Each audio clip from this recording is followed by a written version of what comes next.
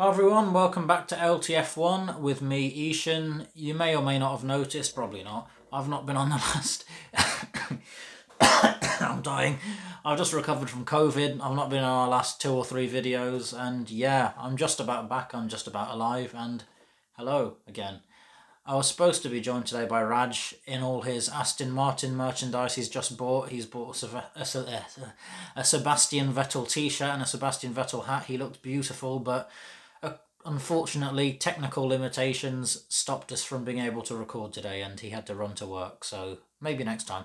But yeah, into today's video, I'm going to be talking about Alfa Romeo and the future of, well, what they're doing next, because there's a lot of, there's a lot of rumours at the minute, you know, is Kimi going? Is Kimi staying next year? Giovinazzi, I think he's done a good job. Is he going? Is he staying?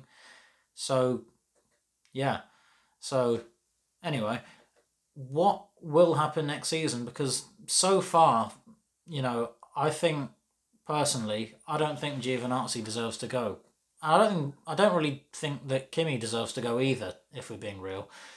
I think with the car they've got, which is, let's be honest, I like Alfa Romeo, but it's a bang average car. It's not really, you know, I can see it, and it has been challenging, and Kimi especially has been challenging for points. But you know, what more do people really expect out of them, kind of thing?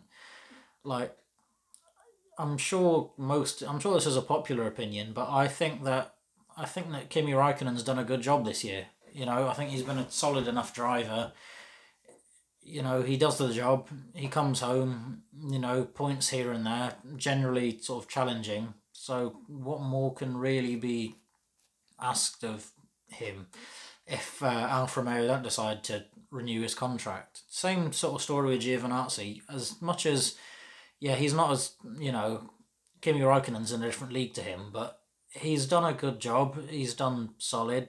He's, I think, that's my opinion anyway. I don't know whether that's popular or unpopular, but it's my opinion. I don't think he. I think the only sort of window of opportunity for him going personally should be if Bottas becomes available. You know, Akshar. Akshar sent me his predictions the other day. He thinks it's going to be a Bottas Ilott lineup for Alfa Romeo next year. I don't agree. I think if one of the two of them, one out of the two of them, sorry, is on the chopping block, if I had to choose one, because as I said, I know they've both, in my opinion, done a good job, or at least a solid job. On the chopping block, it should be Giovinazzi, in my opinion. Kimi Raikkonen, yes, I know he's getting old. I know he's past it, but he's still a good driver. He does a good job. You know, he does a solid enough job. I think he's still got another two or three years in him. I don't think age should be a question that people are asking so much. And I know at the start of the season, I'm a hypocrite for this because I did with Fernando Alonso, but Look at the job he's doing. It's been solid so far. It's been consistently good. And the same with Raikkonen. I think he has another maybe two, three years maximum left in him. So next year for me, I would like to see uh, Bottas and Raikkonen lining up for um, Alfa Romeo. I think that'd be a good, strong lineup. Two, you know, good enough drivers that will bring home the occasional point or two and yeah, it'll as, as long as it's a competitive car, which maybe that's you know maybe that's why Alfa Romeo want to upgrade their drivers next year for you know better drivers because who knows you know they could be anticipating a much better car next year that'll be much more competitive. I don't know. Only Alfa Romeo know. So yeah. Uh, on to my next talking point on the topic of Bottas, I know we've milked the topic to death on this channel talking about him and Mercedes and George Russell, so we're not going to stay away from George Russell today. But according to Akshar, I don't know if any legitimate sources are reporting this, but according to the Akshar news, um, next season there could be the potential for um, Checo Perez to be leaving Red Bull. I don't think he will. I don't think Red Bull will do that. I think it'd be a stupid move for them. Akshar's read that Helmut Marko said something or other.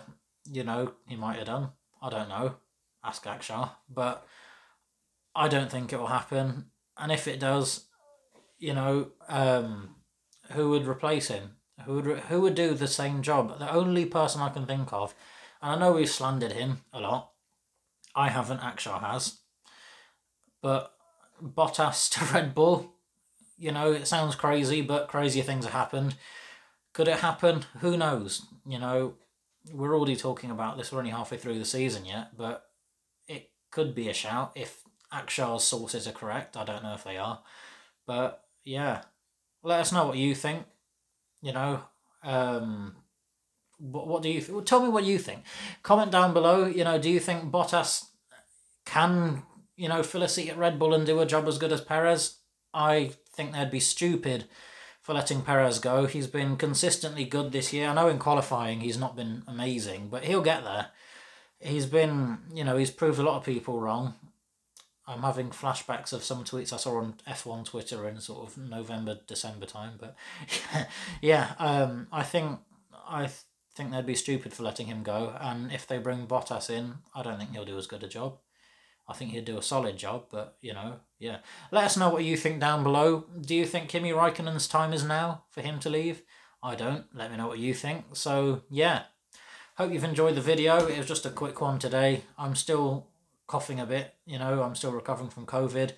Hopefully next time I won't be talking to myself in my, uh, well, in the computer room, talking to myself. Hopefully I'll have Akshar and Raj maybe to join us. So yeah, let us know what you think. As I've said a million times about uh, Alfa Romeo next season, what do you think the air lineup will be next year? Do you think Perez will stay at Red Bull? What do you think? Let us know down below. Thank you for watching. I hope you enjoyed the video, even though it was a bit short and it's just me talking to myself, talking to my phone. Thank you for watching. Like, comment and subscribe. And we'll see you again, maybe at the weekend. Thank you. Oh yeah, whilst I'm here, I was just about to stop recording, but remember to follow us on Twitter at LTF1Official and on Instagram at LTF1Official. Thank you for watching. We'll see you next time.